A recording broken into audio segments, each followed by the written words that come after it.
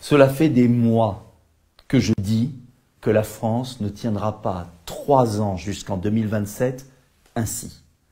Cela fait des mois que j'appelle à la motion de censure pour une dissolution et une nouvelle majorité.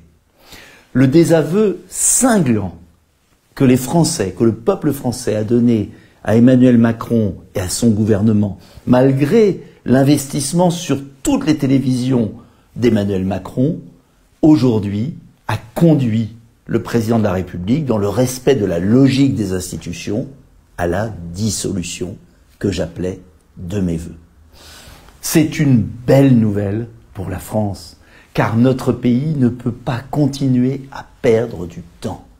Maintenant, il est clair que dans trois semaines seulement aura lieu le premier tour des élections législatives.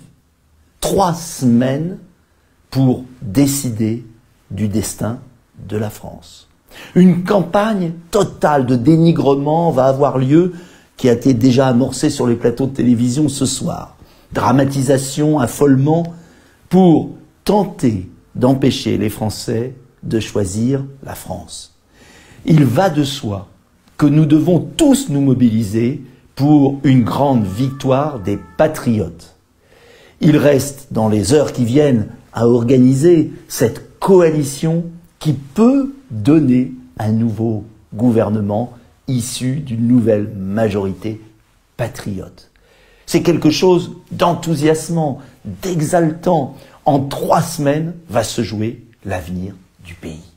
Voilà pourquoi je vous en dirai plus dès demain, mais voilà pourquoi aujourd'hui nous pouvons être heureux que par leur vote, les Français aient obligé Emmanuel Macron à leur redonner le pouvoir du suffrage universel de trancher.